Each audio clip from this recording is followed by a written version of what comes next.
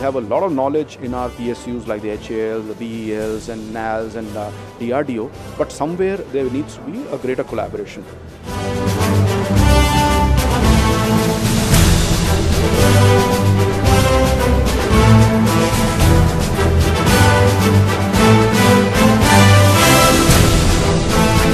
The aircraft you see outside, which we have displayed, which are global products, a lot of them have been designed, and some of the critical parts of the design have been done in India, in Bangalore. People don't know that.